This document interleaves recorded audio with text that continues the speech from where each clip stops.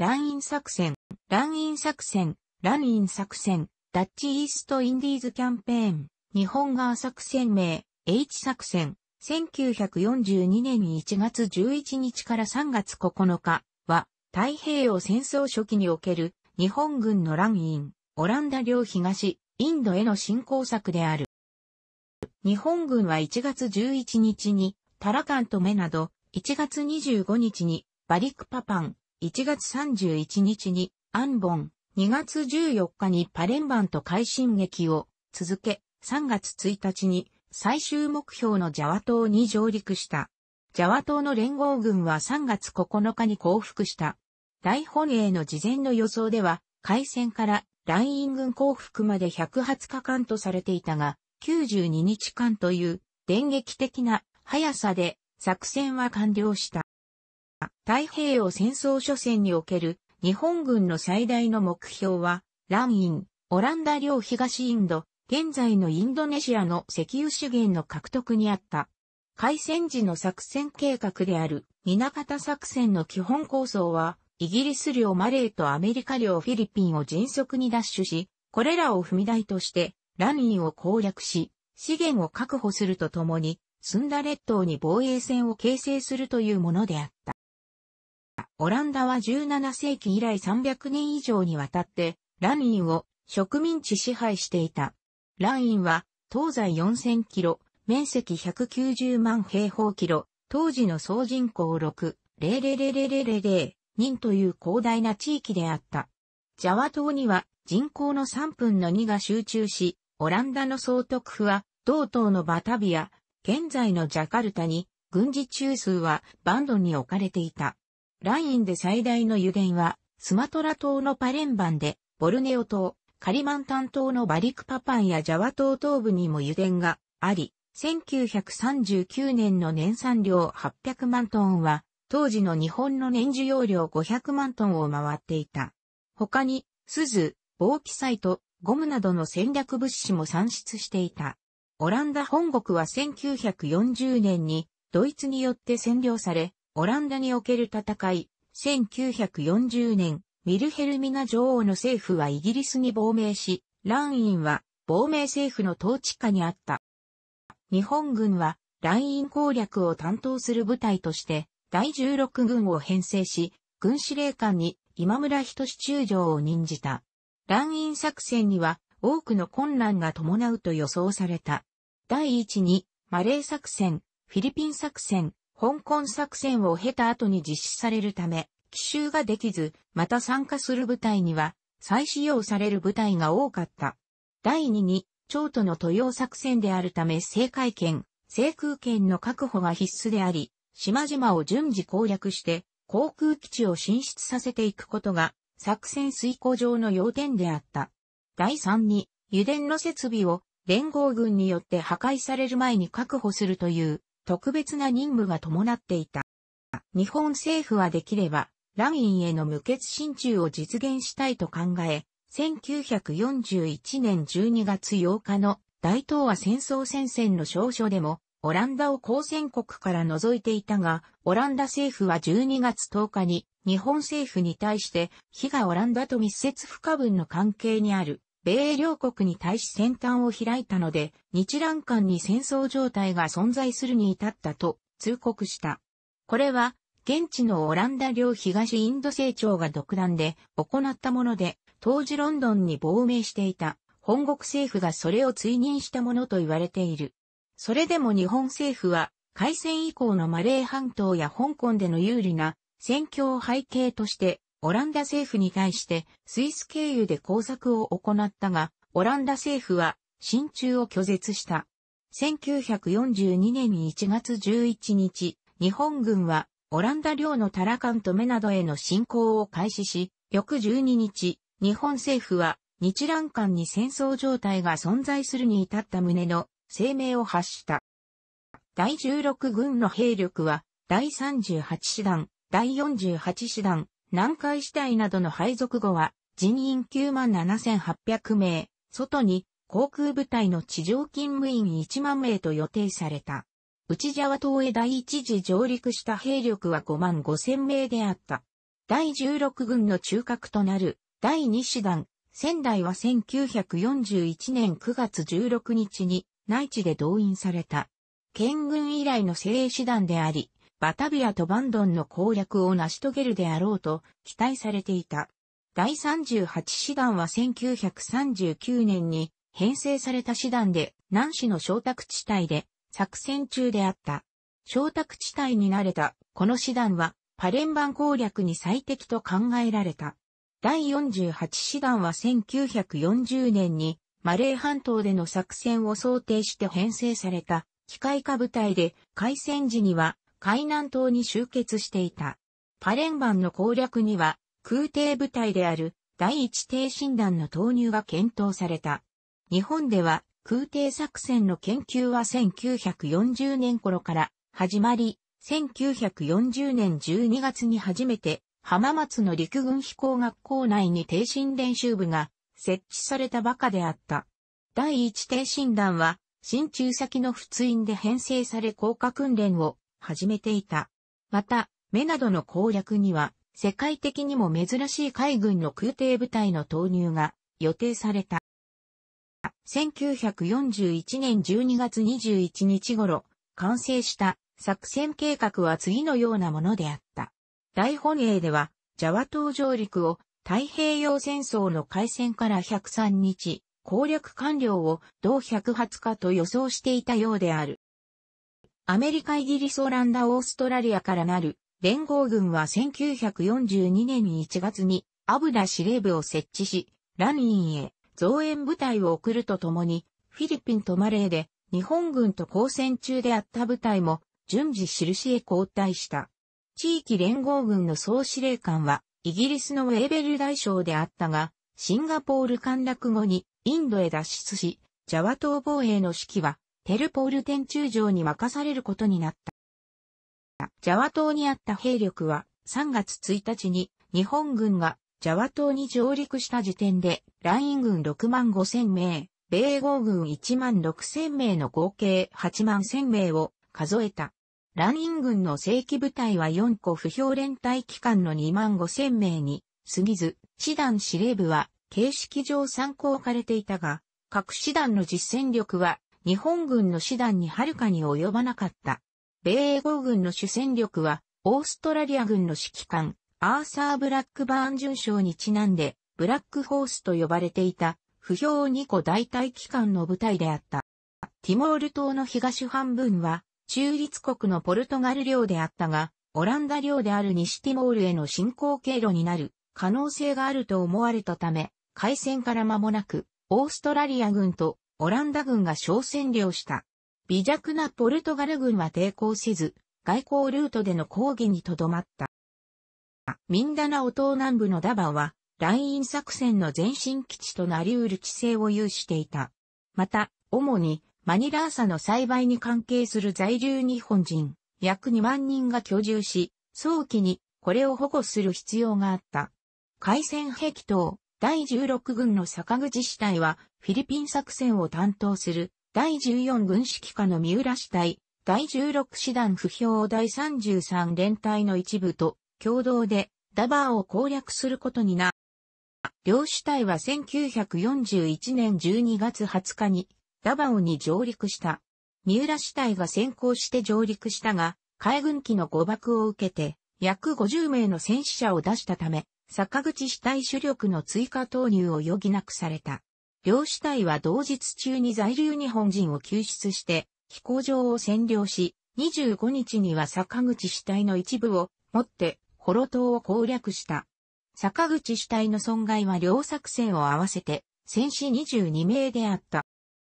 ダバオの戦いに先立つ12月19日、南方軍は、ジャワ島上陸の日程を、開戦時の計画から1ヶ月繰り上げる方針を固めていた。これは、マレー沖海戦で、イギリス軍の2隻の戦艦が撃沈され、地上部隊も快進撃を続けるなど、主にマレー方面において戦況が極めて有利に進展していたためである。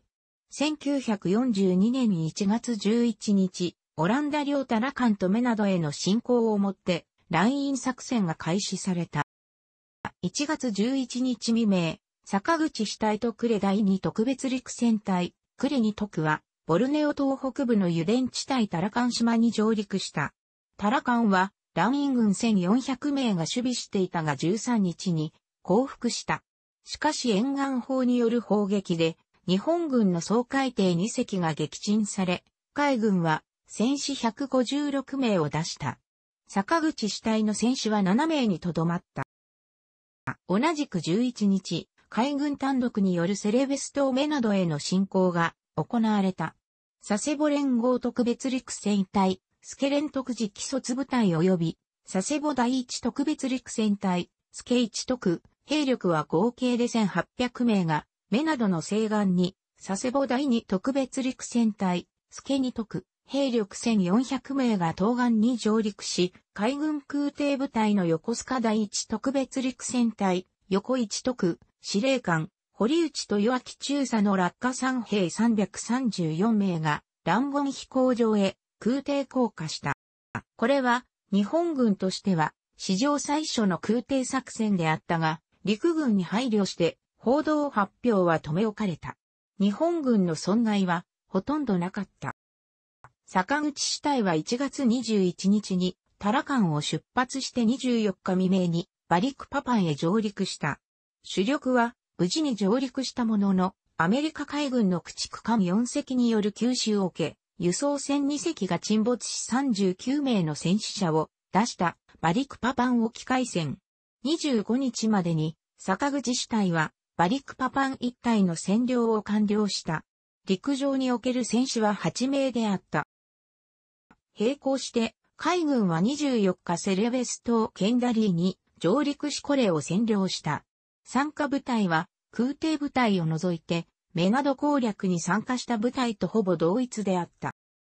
坂口支隊はバリクパパン沖海戦で輸送船を喪失したため、次の目標であるバンジェルマシンへは陸路移動することとなった。バンジェルマシンまでの移動距離は400キロになると、見積もられ、うち100キロはジャングル地帯であった。坂口地帯は1月30日にバリクパパンを出発、マラリアやヒルに悩まされながらジャングル地帯を切り開き、2月10日に戦闘部隊がバンジェルマシンの飛行場を占領した。損害はマラリアによる戦病死救命であった。並行して9日に海軍の攻略部隊がセレベス島マカッサルに上陸し占領した。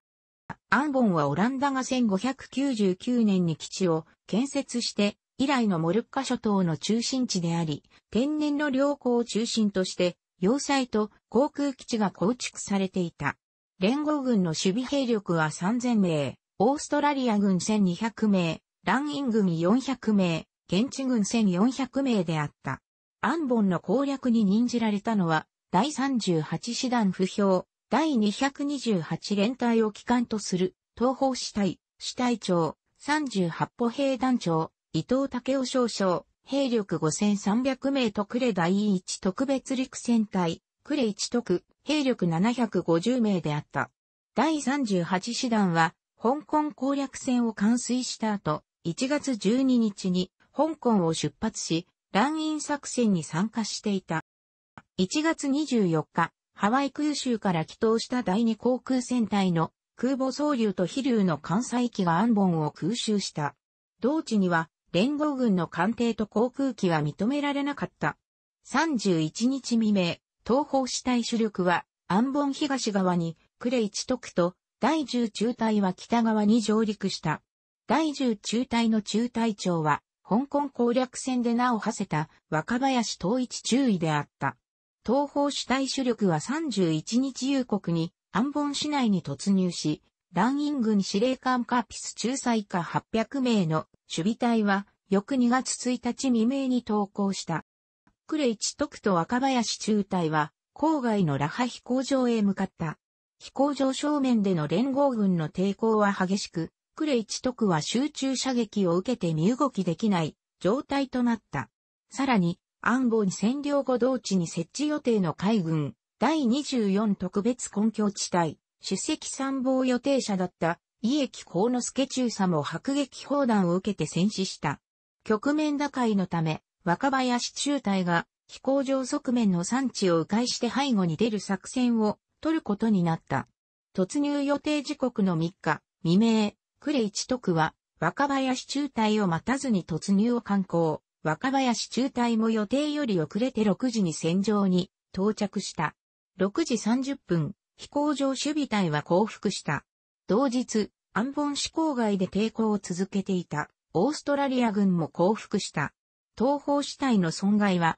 戦死55名、戦傷135名、呉一徳は、戦死40名、重傷50名を出した。戦果は、壱岐支隊340、捕虜2182名であった。スマトラ島のパレンバンは、来院最大かつ東南アジア有数の大油田地帯であり、ロイヤルダッチシェルが創業する西油所と共に太平洋戦争における日本軍の最重要攻略目標であった。パレンバンは虫川の川口からおよそ100キロの内陸に位置するため、陸軍の大発登上陸用終艇による攻撃では、川を遡上している間に油田設備を破壊される恐れがあり、これを避けるためにはまず空挺攻撃によって、これを奇襲占領し、ついで地上部隊をもって確保する作戦が望ましいと考えられた。こうして第一挺身団、団長、久米聖一大佐が空挺降下し、第38師団種、不評、第229連隊機関、兵力12、360名が支援する陸軍初の空挺作戦が立案された。ただし、第一挺身団は、挺身第一、第二連隊を有していたものの、挺身第一連隊は1月3日に乗船、名光丸が積載品自然発火を起こして沈没し、人員は護衛の駆逐艦に救助されたが兵器資材のすべてを失っていた。このため空挺効果は、挺身第二連隊の329名のみで実施されることになった。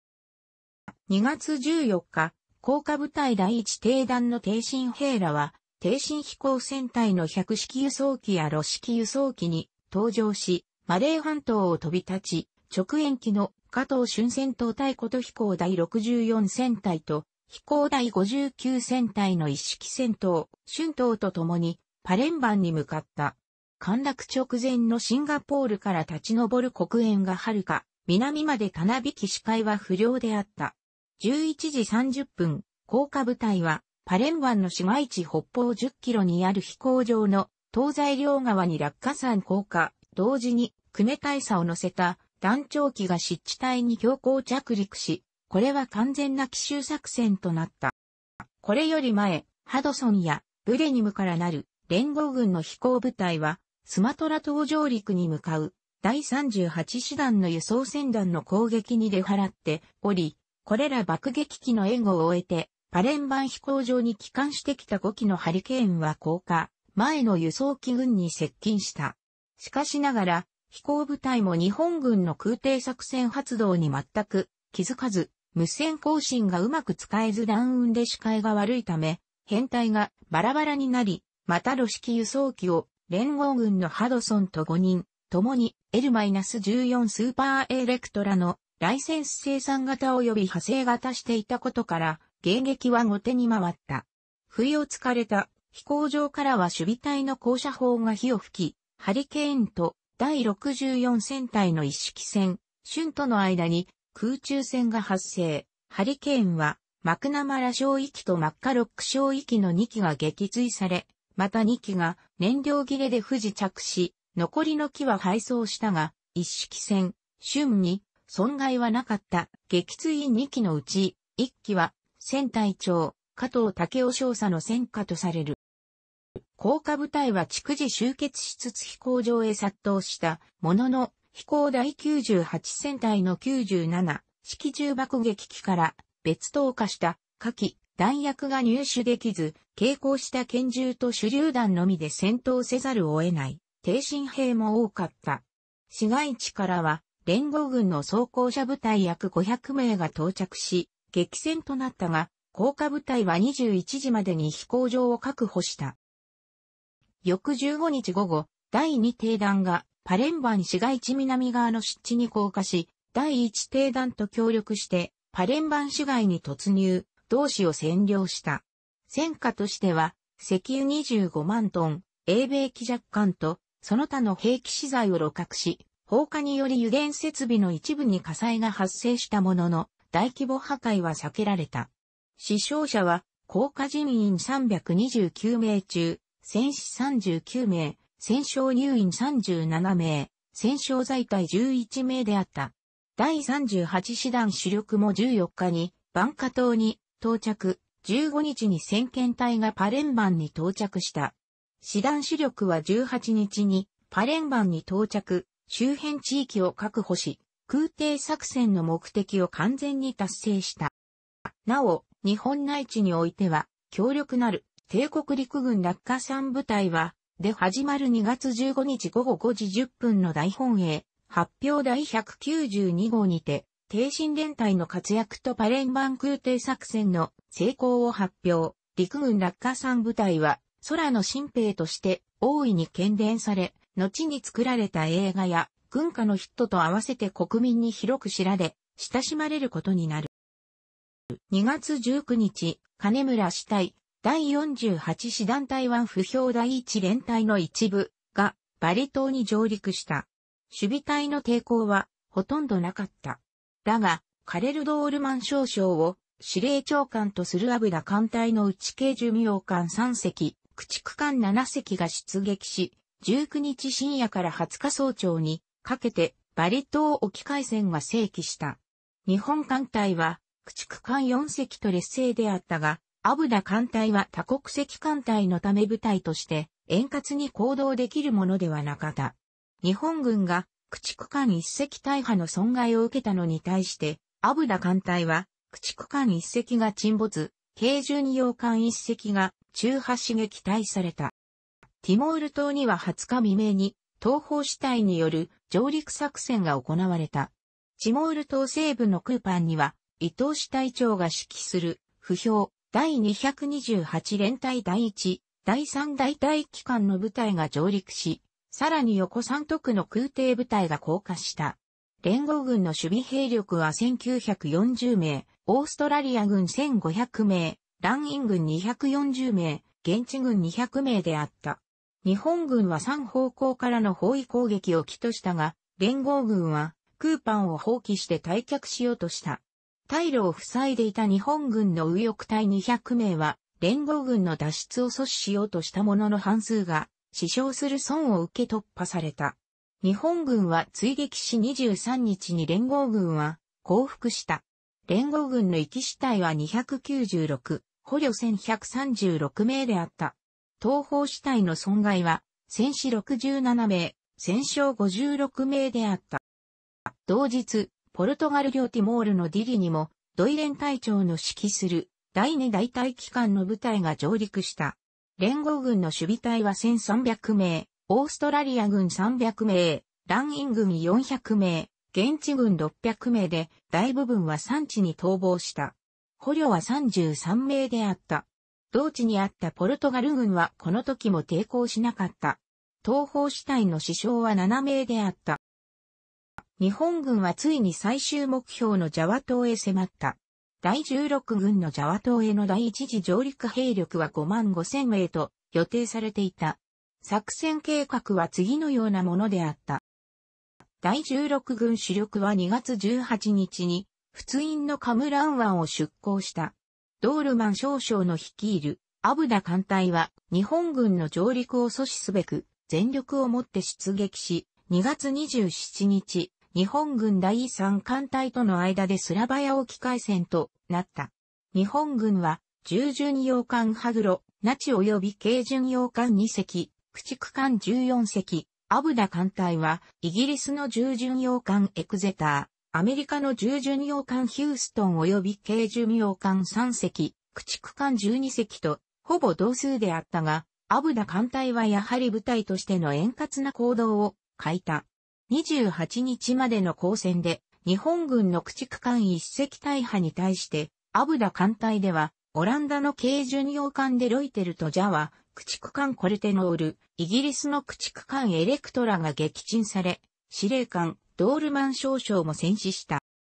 スラバヤ沖海戦で残存したアメリカの従巡洋艦ヒューストンとオーストラリアの軽巡洋艦パースは、ジャワ海からの脱出途中、3月1日未明、バンタム湾で第16軍主力を揚陸作業中だった日本軍輸送団を発見し、攻撃をかけた。南使い艦隊の従巡洋艦ミクマ、最上が応戦して、バタビア沖海戦となり、ヒューストン、パースの2隻は共に沈没した。その後、アブダ艦隊はさらに、エクゼター特地区間2隻を失って壊滅、スラバヤ沖海戦、総統戦士、駆逐艦4隻がかろうじて、オーストラリアへ脱出した。一連の海戦の結果、ジャワ島近海の政界権は完全に日本軍のものとなった。しかし、バタビア沖海戦で日本軍は最上の魚雷誤射により、揚陸艦新州丸、陸軍船舶部隊の特殊戦。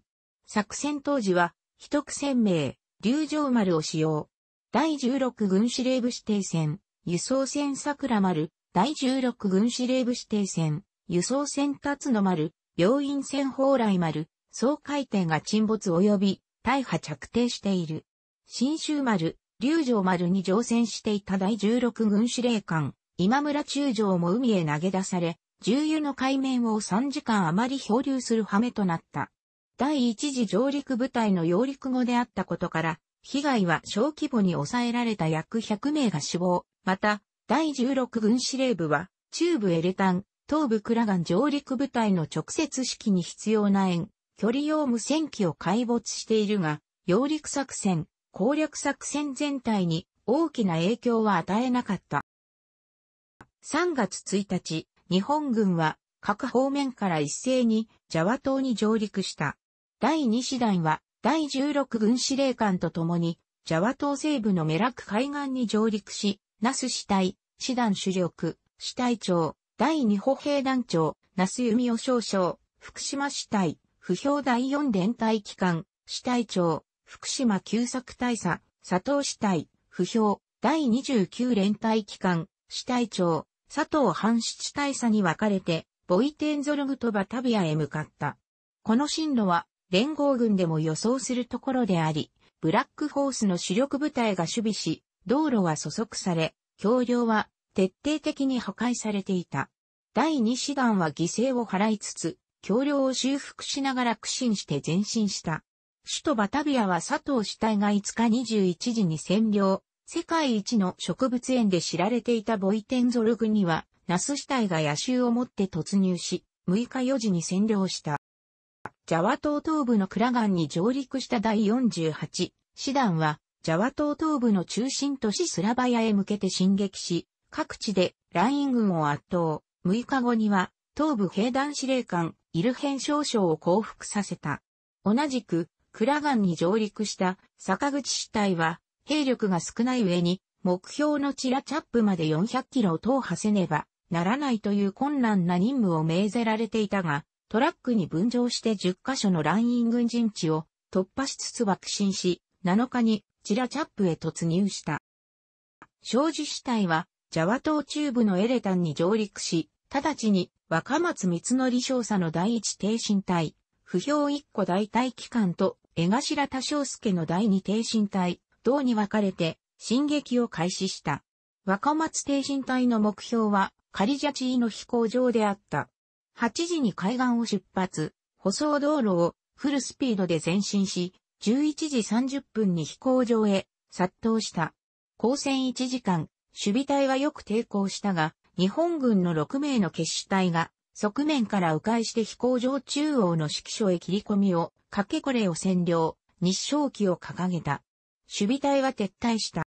3日、乱ン軍は、カリジャチを奪回すべく、バンドン要塞から戦車と装甲車を連ねて、逆襲に転じた。若松挺身隊は、必死の反撃と飛行場へ進出した第三飛行集団の航空支援により、乱員軍を撃退し者の平地の飛行場に留まっていては防御し続けることは困難であると考えられた。バンドン要塞には5万の連合軍があると予想されていたが、若松少佐は進んでバンドン要塞の一角を奪取し、そこで防御することを考えた。7日2時、若松挺身隊700名はバンドン要塞外角の連番の町に電撃突入し、山頂線の重要陣地を占領した。日本軍突入の知らせに、バンドンのライン軍司令部は驚愕した。要塞は未だ守備を固めている最中である。日本軍がわずか数百名のみで突入してくるはずは、なく、背後には大部隊が控えているに違いない。7日22時、あっけないことに、バンドン地区防衛兵団司令官、ペスマン少将は、若松帝進隊へ降伏を申し入れた。降伏の交渉は8日16時からカリジャチーで行われた。乱印総督、ジャルダ・ファンスタルケンボルフ・スタックハウエルらは、バンドン守備隊のみの降伏を主張したが、日本軍は連合軍全部の降伏を要求し、団員側も結局受け入れた。9日午前、ラジオ放送で降伏の指示が伝達された。12日にバンドン東方の英語軍8000名が降伏し、連合軍全部の降伏が完了した。オランダ側からインドネシア人に襲われる恐れがあるとして、ピストル傾向の許可を求められると、今村中将は承諾した。日本軍は10日の陸軍記念日に、バンドン要塞へ入場した。ジャワ作戦中の第16軍の損害は、戦死840名、戦勝1784名であった。日本軍のジャワ島攻略部隊の輸送は3時にわたって計画されていたが、作戦が終了したのは第3次輸送が内地を出発する前だった。大本営では事前に開戦後103日頃ジャワ、上陸、100発カゴロラン軍降伏と予想していたが、実際の日程は84日ジャワ島、上陸、90日ランイン軍降伏申しで、92日降伏というものであった。連合軍は3月25日までに、ジャワ島内で82,618名が捕虜となった。内訳は、乱印軍66,219名、オーストラリア軍4,890名、イギリス軍1626名、アメリカ軍883名であった。ランインの資源地帯を確保するという日本軍の計画は成功を収めた。その後の戦争期間中、ラインは日本の戦争経済を支える資源基地として機能した。冷凍機械戦でも栗田艦隊はバンカ島で燃料の補給を受け出撃していった。さらに日本軍によるオーストラリア空襲の支援拠点としても機能した上、同地で運航していたオランダ領インド航空のところ機のうち、オーストラリアなどの連合国軍の支配地域へ逃亡できなかった多くの機体が日本軍によって捕獲され、現地の日本軍に組み込まれた。だが1945年初頭以降の大東亜戦争の最終局面では、海上護衛の失敗により、内地との交通を断たれ、豊富な資源を持つにもかかわらず、ラインはその戦略的価値を失った。ラインでは、現地の反オランダ感情が強かったこともあり、アメリカ軍やイギリス軍により支援されていたフィリピンやマレーの抗日運動のような一部の地元民による軍事的な抗日活動が少なかったこともあり、独立運動家の意を受け、インドネシアとしての独立を念頭に置いた政策が敷かれた。なお、その一環として、現地人が日本軍による労働者募集を受けて、軍需工場などで働く、労務者、労務者として雇用されたほか、対面鉄道建設などにも動員されたが、事故などにより少なくない犠牲者を生み出してもいる。日本軍によるラインの占領は、長年の過酷なオランダの植民地支配に対する現地人による独立運動と母国の国力の低下によりすでに揺らぎ始めていたオランダの植民地支配を終焉させる決定的な一撃なった。日本の敗戦から2日後の1945年8月17日、スカルノやハッタラ民族主義者はインドネシアの独立を宣言し、インドネシア独立戦争へと突入していった。この独立戦争には3000人以上の旧日本軍兵士が参加し、インドネシア独立に協力した。上記のように、この戦いにおけるオランダの敗北が戦後オランダが同地の植民地を失う決定的な一撃となったこともあり、第二次世界大戦後のオランダはヨーロッパでも最も反日感情の強い国の巣となった。なお、オランダは多くの日本軍人を BC 級戦犯として処刑した上、1971年の昭和天皇のオランダ訪問の際には、卵が投げつけられ、1986年には、ベアトリクス女王の訪日が、世論の反発により中止となった。日本とオランダは400年にわたる交流の歴史を有していたにもかかわらず、オランダの植民地である同地における戦争は、両国間にわだかまりを残した。悲惨な戦いを強いられた他の南方戦とは異なり、大本営の予想すら超える圧勝で終わったため、日本の機関兵たちは、ジャワの極楽、ビルマの地獄、死んでも帰れぬニューギニアと評したという。楽しくご覧になりましたら、購読と良いです。クリックしてください。